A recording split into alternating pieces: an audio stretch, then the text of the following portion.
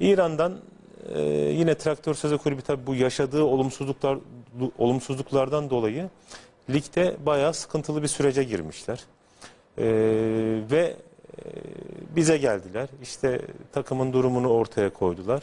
Ve e, gelip bize yardımcı olabilir misin? Biz sizle beraber olmayı istiyoruz.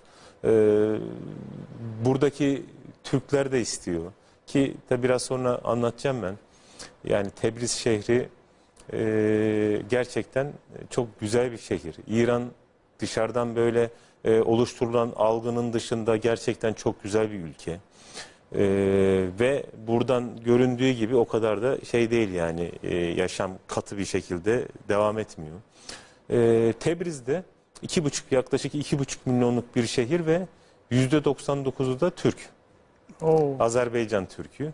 Ve orada Türkçe konuşuluyor. İnsanlar e, Türkiye'ye gerçekten aşıklar. Aşırı bir Türkiye sevdası var. Ve İran'ın genelinde de yaklaşık 30 milyon Türk yaşıyor. Ben bunu tabii gittikten sonra öğrendim. Ve e, yani orada böyle bir Türk nüfusunun olduğu e, ve Türkiye'ye çok e, sevdalı olduklarını oraya gittikten sonra anlayınca açıkçası bu durumdan utandım.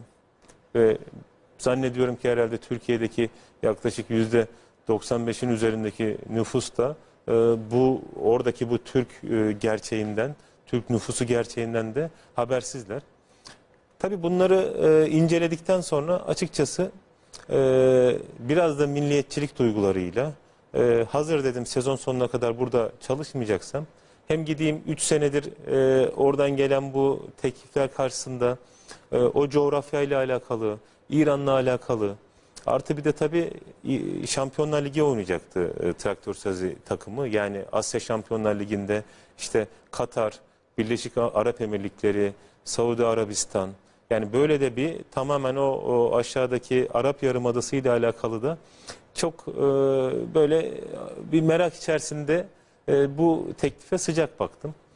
E, tabii en önemli e, etken şu oldu. Yani gidip orada bu takıma, e, bu kulübe ve oradaki e, bizim e, soydaşlarımıza, e, vatandaşlarımıza diyeyim yani şey aynı aynı e, ırktan olduğumuz insanlara e, açıkçası yardım etmek istedim.